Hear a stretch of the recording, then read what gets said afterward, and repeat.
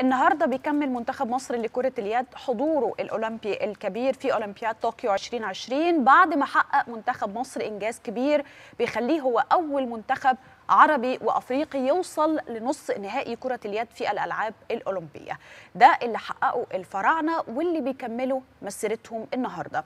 طبعا بيطمعوا. وإحنا كمان طمعانين معاهم في تحقيق إنجاز تاريخي أكبر بالحصول على الميدالية البرونزية بعد الفوز على إسبانيا في مباراة النهارده. اللي أكيد مش هتكون سهلة وإحنا متوقعين إن هي مش هتكون سهلة لكن إن شاء الله يستمر الفراعنة في بسالتهم وأدائهم البطولي ويحققوا إنجاز أكبر لمصر والعالم العربي والأفريقيا. تفاصيل أكتر هنناقشها مع ضيفنا في الاستوديو الناقد الرياضي سعيد علي. صباح الفل. أهلا بحضرتك صباح النور عليك صباح الخير أستاذ سعيد. صباح الخير أستاذ. خلينا نبدأ معاك بالمباراة النهارده والتوقعات. آه طبعا هي مباراة آه صعبة جدا.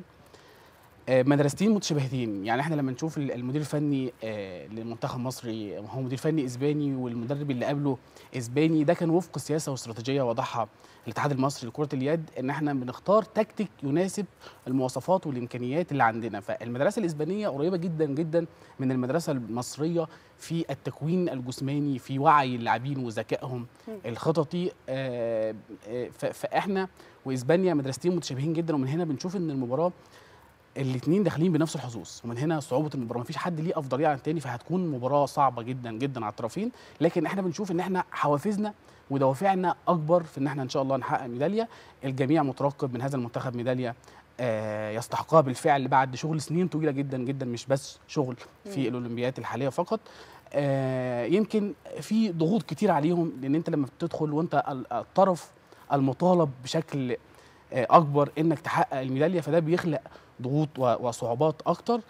آه لكن يمكن آه كان في رسالة مهمة جدا جدا من الرئيس عبد الفتاح السيسي بعد المباراة. طبعا. الأخيرة مم. خففت الضغوط شوية لما لأن آه بشكل واضح جدا اتقال للناس شكرا على الروح والإصرار. شكرا على ما قدمتوه. إحنا بنفتخر بيكم. دي كان ليها دور مهم جدا جدا عند اللعيبة. تخفف عليهم الضغوط النهارده. تخليهم يلعبوا بأريحية أكبر وإن شاء الله نحقق الميدالية صحيح بس التدوينة دي يمكن كانت مهمة جدا في طبعا. في في, في نفسية اللعيبة بتفرق طبعا. إن هم شفناهم بعد الماتش اللي فات كابتن واللي كان كتير منهم زعلانين طبعا وبيبكوا على الهزيمه مع ان هي قدام يعني منتخب قوي جدا. عملوا اللي عليهم وما قصروش ومع ذلك هم واضح إن هم كانوا داخلين وعينيهم على الذهب.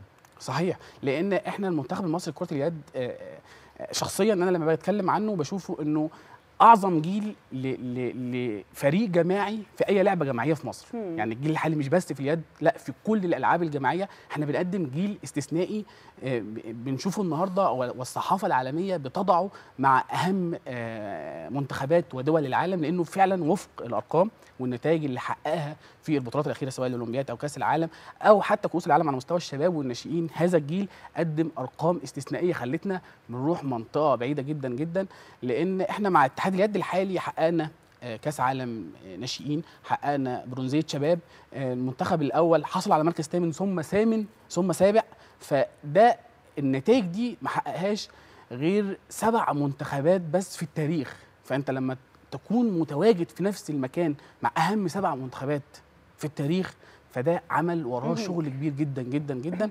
نستحق عليه كل التقدير.